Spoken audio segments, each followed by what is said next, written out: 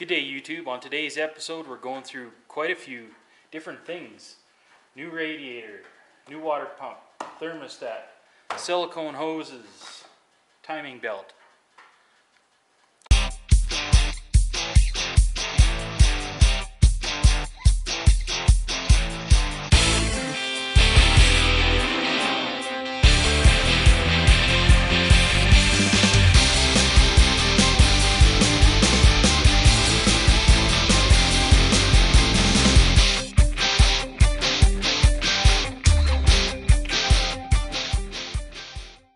So if you guys have been following my channel, you uh, you know you've been following along the story of me building this uh, Zuki here, and uh, you, in the previous episode, I had put a electric fan in here, hoping to cool it down, and it helped, but uh, it didn't do.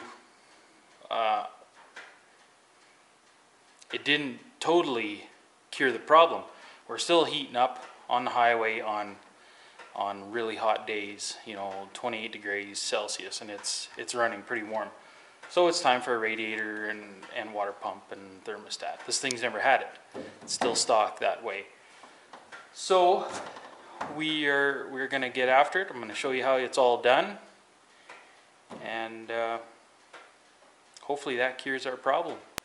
And we'll be able to finally run this baby down the highway without getting hot. Should be prepared for the turbo to come here hopefully sometime this month. I'll be doing a video on that too. So stick around, let's get after it, get this baby cooled down. So I order a majority of my stuff from Roadless Gear.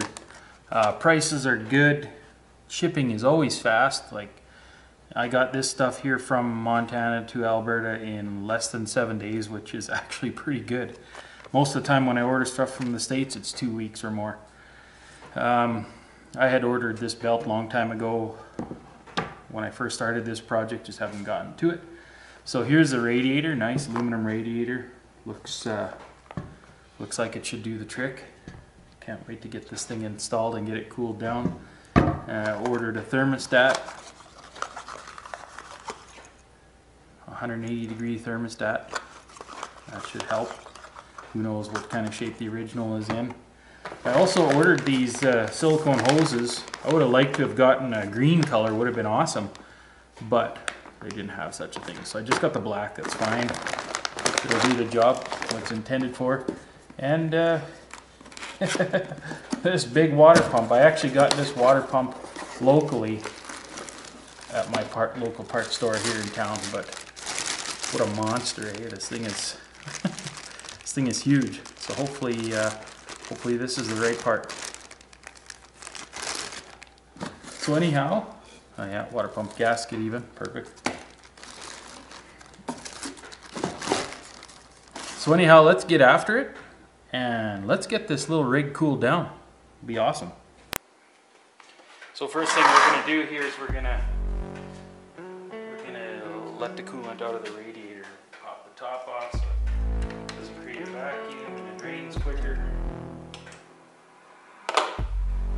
Under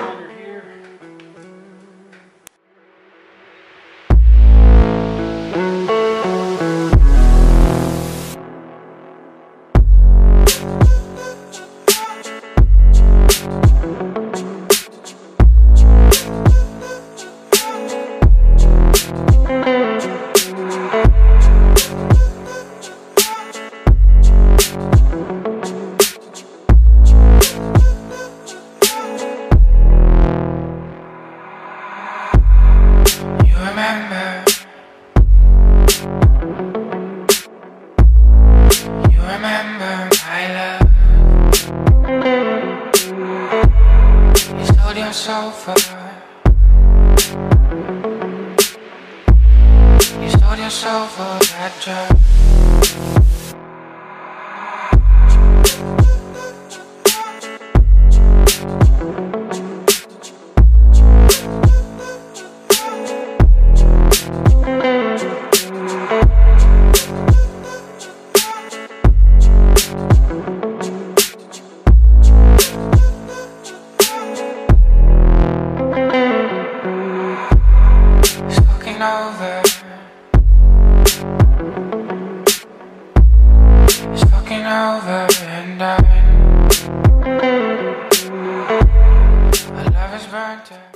I've always been told before you do, you know, anything with timing, you uh, you line up your timing marks. So here is a reference. Here's your timing mark on your cam gear.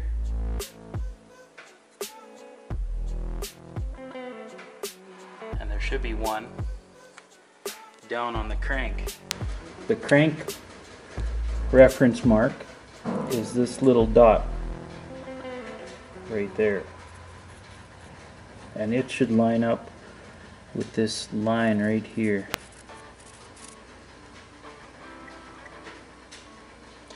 And all this stuff is is fairly similar, whether it's uh, you know a Chevy small block or whatever. They they all have their timing marks that line up. So you just crank it over.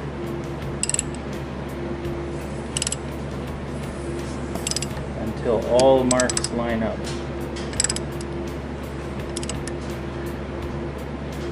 At the same time.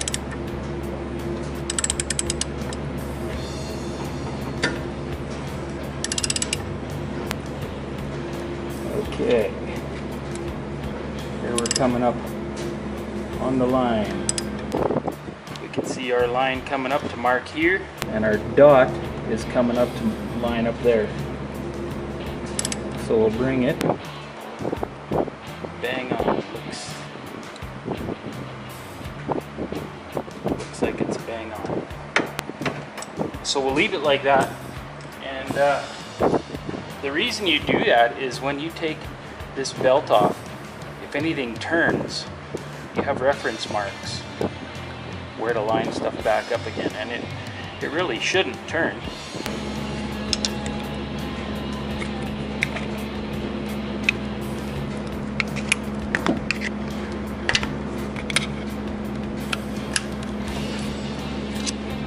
Have no idea when this timing belt was done last.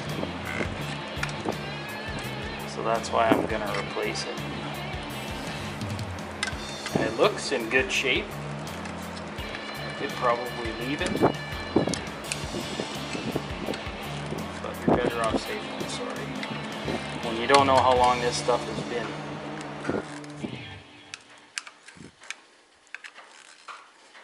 You're definitely better off safe than sorry.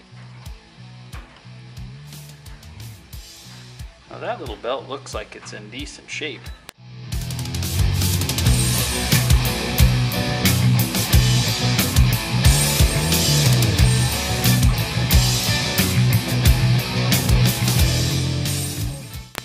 Now it should be just a matter of these water pump bolts.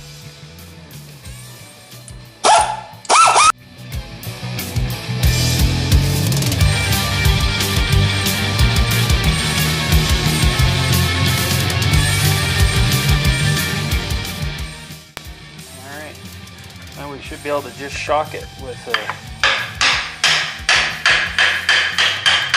wooden block.